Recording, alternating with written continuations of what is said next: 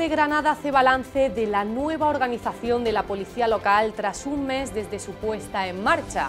El consistorio granadino considera de éxito total el aumento de efectivos en las calles los fines de semana desde el pasado 1 de julio.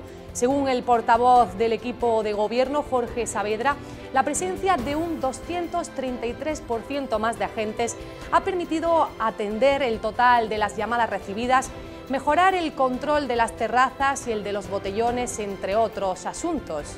Bienvenidos con esta noticia, iniciamos nuestro repaso a la actualidad de la jornada. Arrancamos, como siempre, con titulares. El AVE trae más viajeros a Granada que el avión a pesar de la falta de conexiones. La llegada de la alta velocidad convierte al tren en el medio de transporte preferido. La Diputación de Granada se posiciona como la segunda más transparente de España. Así lo pone de manifiesto el llamado ranking de Dintra. Bajo la marca Ojíjares Infinity, el Plan General de Ordenación Urbana de este municipio prevé el estudio de la llegada del metro a Ojíjares, la ampliación del PTS y un nuevo parque empresarial, así como varias zonas verdes. Pasado un mes de la ampliación del número de agentes de policía local los fines de semana en la capital, el Ayuntamiento de Granada hace balance de esta nueva organización del servicio. Lo califica de éxito rotundo y es que el aumento de la plantilla policial ha permitido atender el total de las peticiones recibidas y mejorar el control de las terrazas, entre otras cuestiones.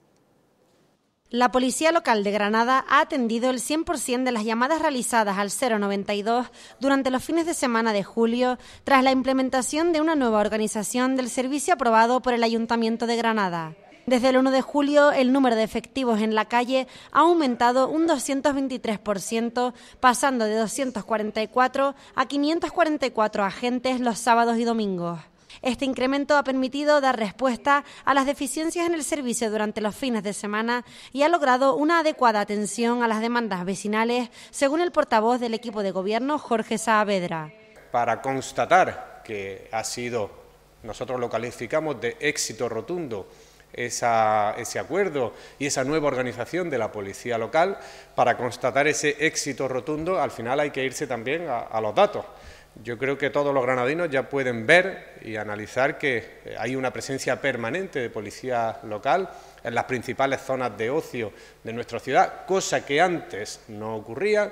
Eso se, ve a, simple vista, dándose una vuelta en los horarios donde eh, bueno, pues se activa ese ocio nocturno. La actividad del equipo de la Policía Local de Medio Ambiente ha sido intensa, duplicando prácticamente el número de seguimientos en establecimientos y quintuplicando el control de terrazas. El equipo de Mujer y Menor ha realizado 122 actuaciones, mientras que la unidad de tráfico ha inspeccionado 2.035 vehículos con 297 denuncias. Además, se han impuesto 25 denuncias por venta ambulante y 31 por botellón, con 59 incautaciones. En palabras de la concejala de Movilidad y Protección Ciudadana, Ana Agudo, la reorganización del servicio ha reducido además significativamente el gasto en horas extraordinarias, pasando de 74.000 euros en julio de 2023 a 18.400 euros este año, un ahorro del 76% decirles que esto es un principio y que pretendemos eh, seguir mejorando lo que es la atención de la policía local, eh, que evidentemente estamos en periodo vacacional, con lo cual, pues básicamente tenemos un servicio ahora mismo un poco más eh, ligero de lo que tendremos en el mes de septiembre, como es habitual, y que pretendemos que en el mes de septiembre, también con el inicio de toda la actividad, seguir mejorando estas métricas para dar a los granadinos lo que se merecen, que es un servicio de calidad de policía local. El Ayuntamiento de Granada da un paso así hacia la mejora continua de la seguridad y la convivencia ciudadana en la provincia. Y les hablamos de comunicaciones ahora que durante el periodo estival tan propicio es viajar. El AVE ya trae más viajeros a Granada que el avión a pesar de la falta de conexiones. La llegada de la alta velocidad convierte al tren en el medio de transporte preferido para emitir y recibir pasajeros en la provincia a pesar de la escasez de enlaces. Los 1,8 millones de viajeros del tren en 2023 baten el récord histórico del aeropuerto, situado en millón y medio hace casi dos décadas. Los viajeros por tren que llegan a Granada superaron el pasado 2023 la cifra récord de pasajeros que ostentaba desde hace 16 años el aeropuerto Federico García Lorca Granada-Jaén. Por primera vez el tren superó al avión como medio de transporte preferido por los viajeros para entrar y salir de la ciudad. Los últimos datos oficiales de la web de AENA y de ADIF muestran claramente el sorpaso del tren al avión en Granada en los dos últimos ejercicios, y es que todo apunta a que se mantendrá en 2024. Considerando 2022 como el primer año normal tras la pandemia, los viajeros subidos y bajados en la estación de ferrocarril de la capital ya superaron en casi 400.000 a los del aeropuerto. En 2023 esa diferencia fue el doble y los pasajeros en tren subieron un 31%, mientras que los de avión lo hicieron solo el 14,4%. En este 2024 la tendencia parece seguir confirmándose, al menos en el primer semestre del año. Se consolida el tren como forma de moverse para ir y venir a Granada, como sucedía hasta los años 90. De hecho, las previsiones de futuro apuntan a que a medio plazo, solo con instalar la doble vía para el AVE, se pueden duplicar el número de servicios ferroviarios y con ellos los viajeros que usen el tren. Una cantidad que además aumentará con la variante de Loja y la nueva operativa que se instale en la red que permitirá el cruce de trenes. Y esto sin contar con las previsiones que se sumen a largo plazo con el corredor mediterráneo a Almería y a Levante. En el aeropuerto nos espera un crecimiento similar y el récord de un año en el aeropuerto Federico García Lorca no llegó nunca al millón y medio de pasajeros. Parece que en el futuro más próximo tampoco se va a alcanzar. Los datos ferroviarios se han conseguido en Granada teniendo seis trenes diarios con Madrid y Málaga, dos con Barcelona y ocho con Sevilla y Almería, contando siempre ambos sentidos. En total, cada día por la estación de Granada pasan 30 trenes subiendo y descargando viajeros. En el aeropuerto hay seis vuelos con Madrid al día y ocho con Barcelona, 20 semanales con Melilla, 14 con Gran Canaria y Palma de Mallorca, seis con Tenerife, cuatro con Asturias y Bilbao y ocho con París-Orly. También todo contado en ambas direcciones. A ellos se suman los charter. Pueden parecer muchos vuelos y muchos trenes, sin embargo son pocos comparados con otras estaciones y terminales españolas menos atractivas turísticamente que Granada.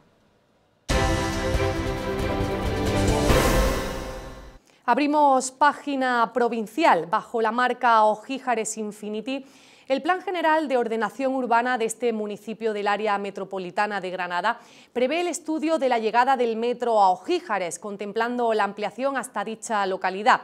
Pero además tiene otras medidas. Por ejemplo, el plan pondrá en marcha dos millones de metros cuadrados de suelo, resaltando la ampliación del PTS, un nuevo parque empresarial y varias zonas verdes. El Plan General de Ordenación Municipal de Ojíjares pondrá en marcha 2 millones de metros cuadrados de suelo. El plan propone 350.000 metros cuadrados de dicho espacio para permitir la ampliación del PTS y dar cabida así a nuevas industrias, servicios y proyectos relacionados con la innovación, el desarrollo, la investigación y la formación en el ámbito de la industria biosanitaria. Además, recoge otros 650.000 metros cuadrados en una zona colindante para creación de un nuevo parque empresarial, donde se espera que haya hoteles, empresas y otros tipos de servicios con el fin de desarrollar un tejido empresarial referente, que atraiga promotores, inversiones y que vaya de la mano con el desarrollo, crecimiento e innovación. En paralelo al desarrollo industrial, plasma 600.000 metros cuadrados de bolsas de suelo para uso residencial, la misma superficie que reservará para zonas verdes, teniendo el tamaño de seis veces los bosques de la Alhambra o nueve veces el Parque Federico García Lorca. Dentro de este marco, el Ayuntamiento de Ojíjares espera crear un total de 527 viviendas de protección oficial y 1.200 domicilios libres. Asimismo, se destinarán otros 48.000 metros cuadrados para parques, 11.000 metros cuadrados para ocio y comercio y cerca de 10.000 metros cuadrados para equipamientos.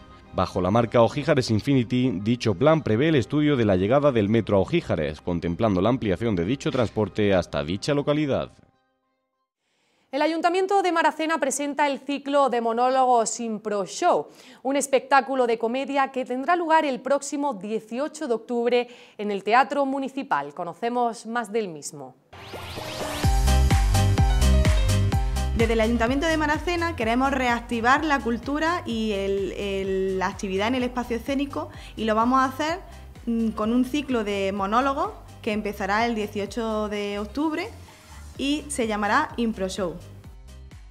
Antes de nada quería agradeceros a vosotros, al Ayuntamiento de Maracena, que siempre nos abrís las puertas para que podamos venir aquí con nuestros espectáculos de comedia, que además también han tenido tan buena repercusión en, las anteriores veces que hemos estado. Y presentamos un espectáculo que además va a ser un estreno en la provincia de Granada, que es Impro Show, eh, donde los dos protagonistas, Carlos Mení y Javier Aguilera, son dos carnavaleros eh, de renombre, eh, son dos de los mejores cuarteteros que tiene el Carnaval de Cádiz y que además han cogido este nuevo espectáculo y han hecho una faceta diferente, que es combinar monólogos carnaval, pero sobre todo la improvisación, por e, de ahí el nombre de ImproShow. Animo a todos los maraceneros y maraceneras a que vengáis a disfrutar de este, de este monólogo, ImproShow, a nuestro teatro. La Diputación de Granada destinará más de 2,4 millones de euros al Plan de Desarrollo Turístico del Poniente Granadino. Un total de 18 municipios de tres comarcas impulsarán su promoción turística bajo el lema La última frontera de Al-Ándalus. La Diputación de Granada pondrá en marcha un plan de promoción turística para poner en valor y dar a conocer la última frontera de Al-Ándalus, un gran corredor ecoturístico que conectará el valioso patrimonio natural, histórico, cultural y paisajístico del poniente granadino, un proyecto enmarcado dentro del eje fundamental del Plan de Desarrollo Turístico impulsado por la Diputación Provincial, sujeto a un modelo de sostenibilidad turística para 18 municipios de tres comarcas, la de los Montes Occidentales, la de Loja y la de Alama de Granada. Con un presupuesto total de 2.480.000 euros y un plazo de desarrollo de dos años, está previsto que se mejoren las condiciones de promoción turística de un territorio que abarca 2.042 kilómetros cuadrados en la zona oeste de la provincia de Granada. Los municipios beneficiarios de este proyecto son Algarinejo, Alama de Granada, Arenas del Rey, Cacín, Fornes, Huetortájar, Illora, Játar, Jayena, Loja, Moclín, Montefrío, Moraleda de Zafayona, Salar, Santa Cruz del Comercio, Villanueva Mesía, Zafarraya y Zagra. La zona actualmente mantiene unas posibilidades turísticas basadas en sus manantiales y el termalismo, situando como centro de referencia el municipio de Alama de Granada y su balneario.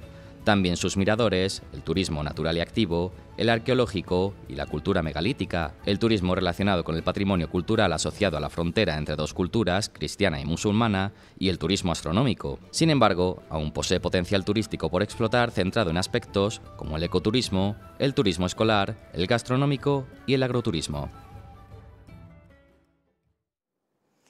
Seguimos hablándoles de Diputación y es que la institución provincial es la segunda más transparente de España, así lo pone de manifiesto el llamado ranking de Dintra.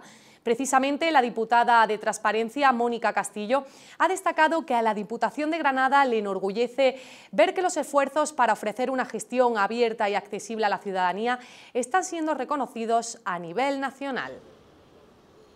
La Diputación de Granada ha sido reconocida como la segunda institución provincial más transparente de España en el último ranking de DINTRA. Además, en una clasificación que incluye también a los consejos insulares, la Diputación provincial ocupa un prestigioso tercer puesto. Este destacado reconocimiento se ha conseguido gracias a un porcentaje de transparencia superior al 89,9%, cumpliendo el 170 de los 189 indicadores evaluados. La diputada de Transparencia, Mónica Castillo, ha expresado su satisfacción por este reconocimiento, indicando que este logro es un reflejo del compromiso firme y continuo de la Diputación de Granada con la transparencia. Para la institución provincial es motivo de orgullo ver que los esfuerzos para ofrecer una gestión abierta y accesible a la ciudadanía están siendo reconocidos a nivel nacional y se va a seguir trabajando, en palabras de Castillo, para mejorar y mantener estos altos estándares de transparencia, ya que una administración transparente, afirma, es fundamental para una democracia saludable y una relación de confianza con los ciudadanos. Para Mónica Castillo, este reconocimiento es el resultado del trabajo conjunto de todos los empleados y colaboradores de la Diputación.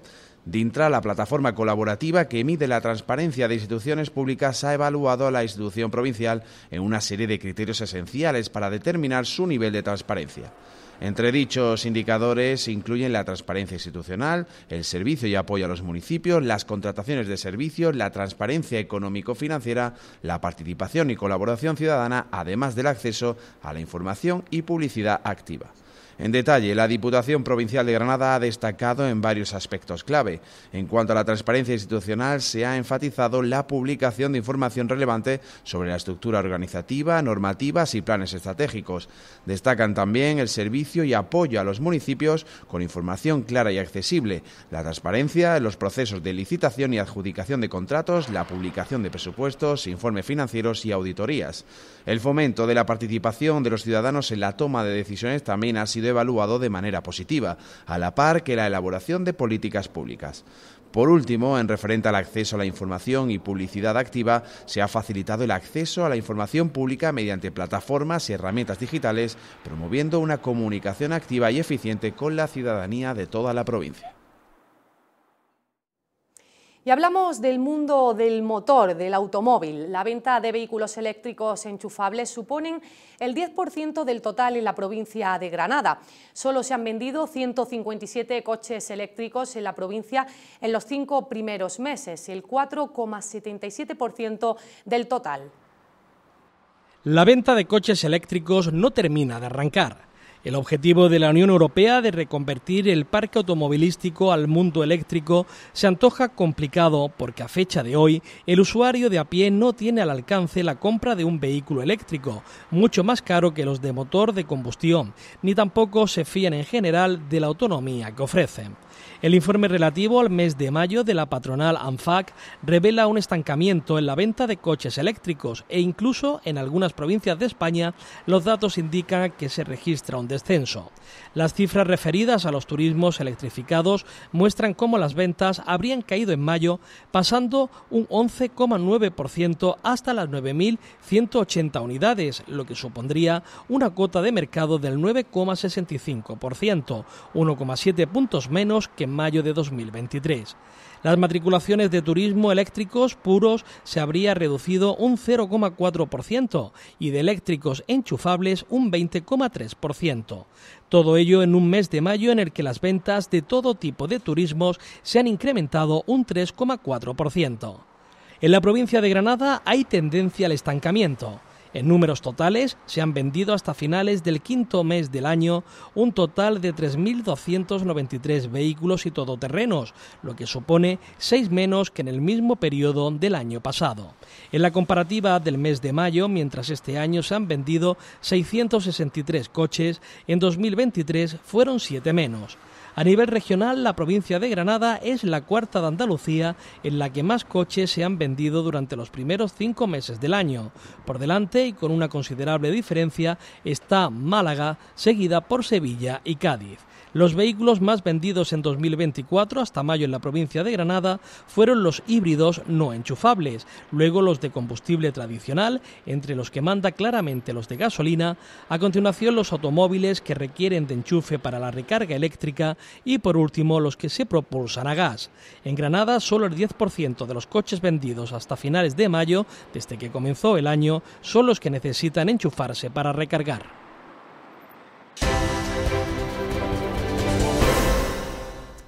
La próxima temporada en la que el Granada jugará en la categoría de plata del fútbol español está a la vuelta de la esquina. Arrancará a mediados de agosto y será una segunda división repleta de capitales de provincia. El Granada Club de Fútbol ya conoce a 16 de los 21 equipos a los que se enfrentará la próxima temporada en la Liga Hypermotion. La próxima temporada en Segunda División tendrá más que nunca acento andaluz. Con el ascenso del Málaga y del Córdoba son cinco los equipos de la región que militarán en la categoría de plata. Tanto el Real Betis como el Sevilla Fútbol Club están un escalón por encima del resto de equipos andaluces, ya que acumulan 50 y 72 temporadas en primera división, respectivamente.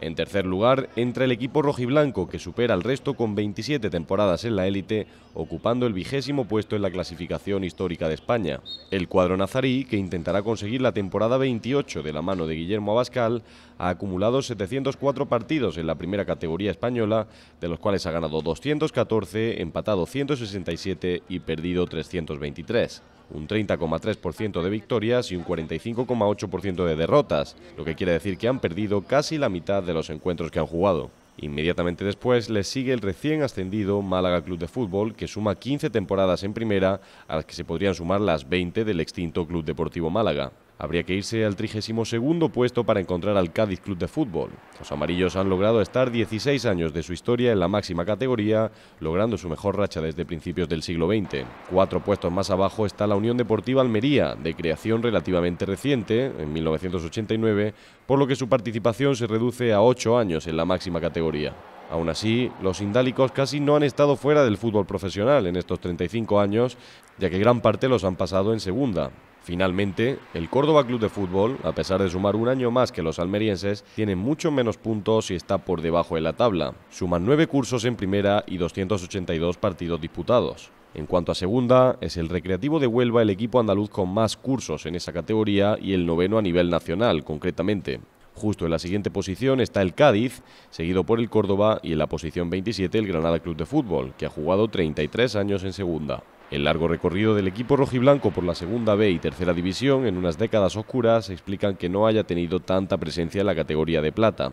El equipo nazarí ha disputado un total de 1.024 partidos, ganando 440, empatando 219 y cayendo en 365 ocasiones. Habrá que sumarle otras 42 jornadas a partir de agosto.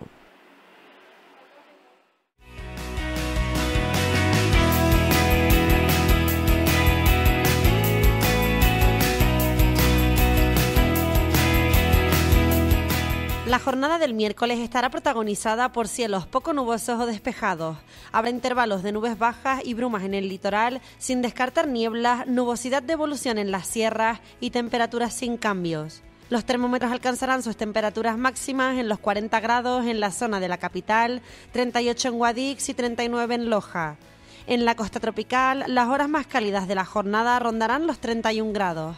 En cuanto a las mínimas, en Granada y Baza las temperaturas rondarán los 20 grados, mientras que en Loja bajarán hasta los 19. En la costa tropical lo harán hasta los 23. Tendremos vientos flojos variables.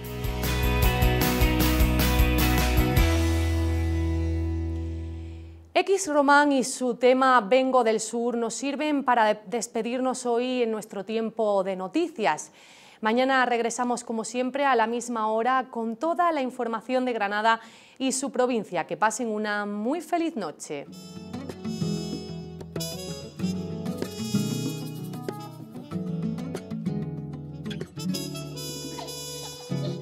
Hoy vengo, vengo del sur, donde la mañana pinta el cielo de mil colores.